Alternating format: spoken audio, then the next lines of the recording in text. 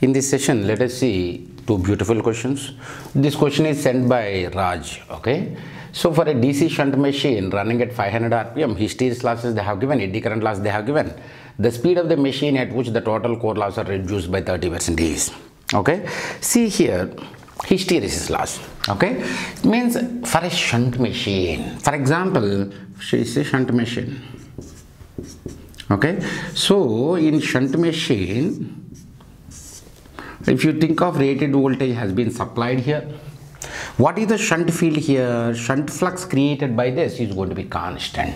So flux is going to be constant. Okay? So flux is going to be constant. Okay? Now what is hysteresis loss? Hysteresis loss directly proportional to b max to the power of x into f okay? So in transformers we have seen b max to the power of x flux is constant and like you know the machine is already fixed. So the my area is constant and flux is also constant so flux density will be constant directly proportional to frequency. Now how frequency is going to be generated? Okay? For example if i think of n pole here if i think of s pole here okay which is going to be stator and for example if i rotate the rotor okay? Now for example my conductor is here. I am rotating the rotor in this direction. Then as of now induced voltage is zero. Positive maximum zero. Negative maximum zero. So if i rotate the rotor by one revolution one cycle will come. Okay? So if i rotate the rotor faster like you know frequency will be more. So frequency is directly proportional to speed or not. Yes. So hysteresis losses is directly proportional to speed which is nothing but some proportionality constant into speed now, let us think of eddy current loss. Eddy current loss directly proportional to voltage square independent of frequency I told you previously. Okay, slight change will happen. For example, means let me do normally and after that I will tell you why I said frequency. Voltage square is directly proportional to B max square F square transformer okay so b max is directly proportional b by f that way okay so b is constant so directly proportional frequency square so directly proportional to speed square. Okay? So this is going to be some ke into speed square.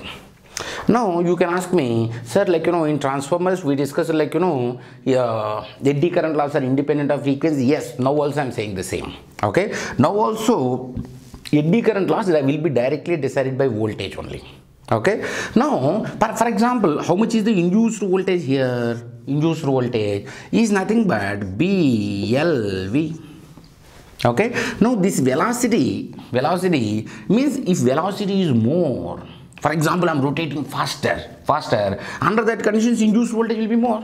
So velocity directly depends upon speed so directly proportional to speed square. Okay? So anyway like you know whatever the data is given with this data what are the things? Hysteresis loss they have given 250 watt. Okay? Equal to some kh into speed now how much is kh is nothing but 250 by speed 500 rpm so this is going to be 0.5 keep it aside okay? And what is ke ke is going to be for example eddy current loss. Okay? Eddy current loss equal to 150 watt. Okay? So eddy current loss equal to ke into n square so what is ke is going to be 150 by n is 500 square. Okay? Now you got kh and you got ke now what is the question? The speed of the machine at which the total core loss are reduced by 30 percent or reduced to 70 percent. So total core loss mu is going to be 70 percent of previous 250 plus 150 400 so this is going to be previous. Is going to be 0.7 into 250 300 400 okay?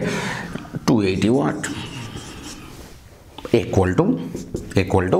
Hysteresis loss plus eddy current loss kh is 0.5 so 0.5 into n plus this is going to be uh, what is a ke 150 by 500 square ke into n square okay? So is going to be 280 so means 0.5 into n plus something into n square equal to 280 now can you solve for speed or not? Yes. Okay? Now in the exam like you know rather than uh, like you know minus b plus or minus like you know b square minus 4ac under root divided by 2a rather than that in this equation let us keep individually. Okay? Now total losses has to be reduced. Total losses has to be reduced. Means that my speed of the rotor has to be reduced means that this and this cannot be right answers. Okay? Now only this and this. Now keep this in this equation. Whether you are going to get 250 or sorry 280 or not check you will not get. Keep this 383.5 in the equation you will get 280 so answer is b. Okay? Now let us think of another question. In this question you know actually this is very beautiful question from Parker Smith okay? Very beautiful question wonderful question. Till now in our gate uh, they did not give such kind of question. Find a minimum number of poles for a 1200 kilowatt generator if the average voltage between commutator segments not to exceed 15 volts and armature ampere turns per pole not to exceed 10000 ampere turns okay? So see here let us think of for example between commutator segments not to exceed 15 volts. Okay? How my winding will be for example this is the lap winding progressive for example. Don't bother about all these things okay? Progressive retrogressive and all these are not at all required. Okay? So this this will be connected to commutator. Okay? Now voltage across commutator segments. Actually in our dc machine okay? Dc machine capacity in the outside world can be like you know 125 volts fine 200 volts fine 500 volts too much. 1000 volts you will not find 1000 volts dc generator or motor in your life. Why? Because commutator okay? About this we will discuss in the detailed course. Okay? So actually the main problem of dc machine is for example in alternator 11 kV is very common. In uh, transformer 400 kV is also there okay? Now induction motor 5.5 kV or ht motor high tension motors will be there okay? So point but in dc machine always voltage capacity will be very small because of commutator or because of voltage across adjacent commutator segments should not be more than 25 to 30 volts because some reasons we will discuss in detail course. Okay? Now commutator segments not to exceed 15 volts. So across this it should not be more than 15 volts is the condition design constraint. Now across this commutator segments what are there? See here come with me. Like one conductor conductor induced voltage plus another conductor induced voltage okay so induced voltage in across commutator segments adjacent commutator segments means that induced voltage in a turn or in a coil okay so induce about how many number of conductors are there in a coil they did not give so number of turns in a coil is going to be only one so induced voltage see here. Induced voltage in a conductor is EC induced voltage in a conductor is EC is going to be too easy. Okay? So let us think of 2 times induced voltage in a conductor should be 15 volts. Okay? Now induced voltage in a conductor should be 7.5 volts. Right in this what is EC P pi n by 60 go through the derivation. So EC equal to P pi n by 60 equal to 7.5 keep it aside. Okay? Now what else they have given? Minimum number of poles for a 1200 kilowatt.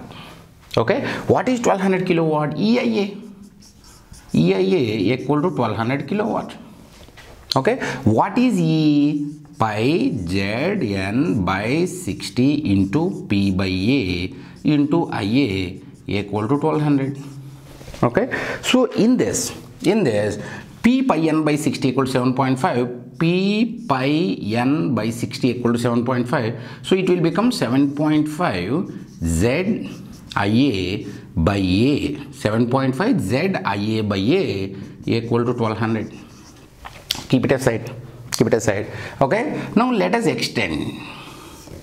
What is that? Armature ampere turns per pole not to exceed 10000 armature ampere turns per pole. What is armature ampere turns per pole? FAR okay? So what is FAR means ampere turns ampere turns per pole. Okay? Is how much? 10000 okay? Now let us combine these three. Okay? So zia by a. So z ia by a. Zia by a equal to 1200 by 7.5 so 1200 by 7.5 into 2p equal to 10000 okay? So 1200 by 15p equal to 10000 calculate p. Okay? You will get answer of 8 okay? So this is also actually a very beautiful problem